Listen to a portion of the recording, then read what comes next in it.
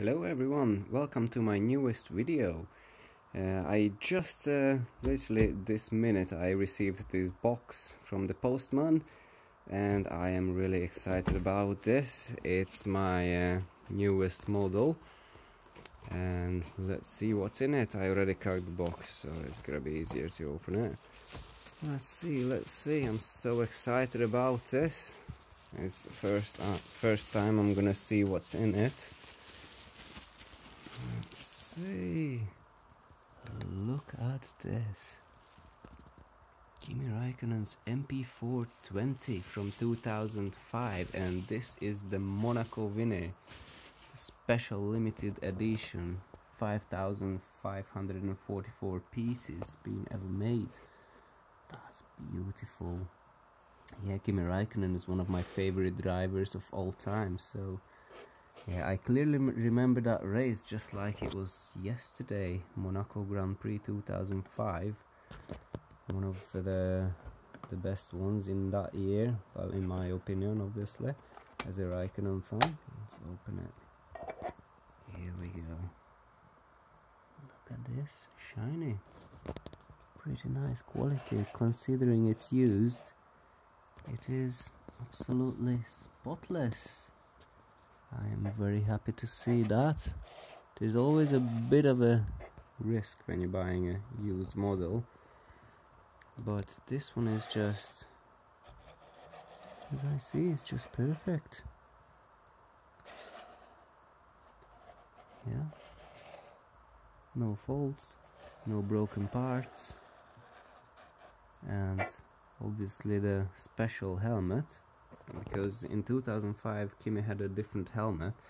There was a blue stripe on it and a bit of red by the top. And this one was specially made for Monaco Grand Prix. So this is a really nice model to add to my collection.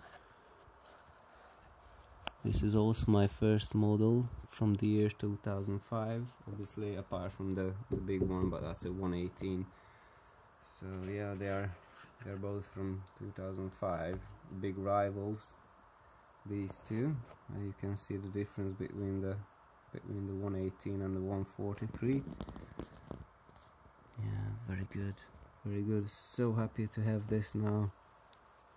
Uh, this this is one of the models that I I really really wanted badly.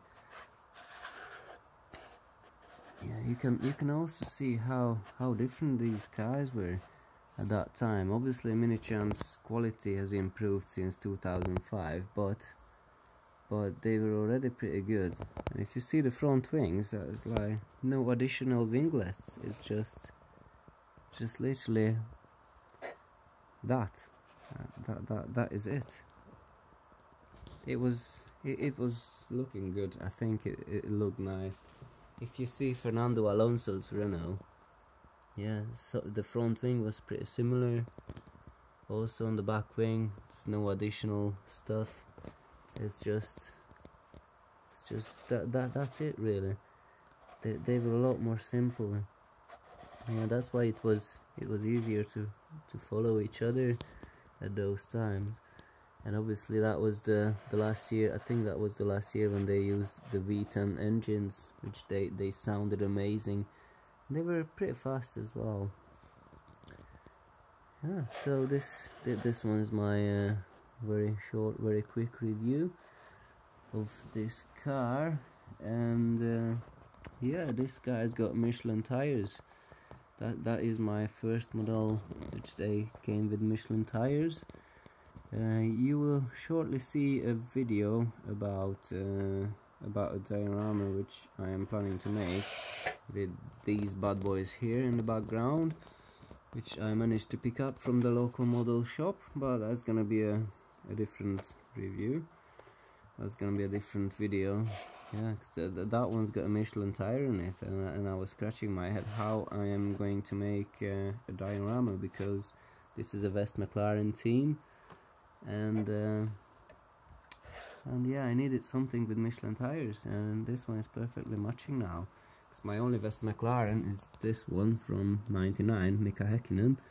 So I had two options. I either swap the tires uh, the tire in the in the hand of the mechanics there or I pick up a model with Michelin tires. So I'm still not sure that I am going to use this car for the for the diorama because uh, I don't know if I want to touch this at all it's just spotless.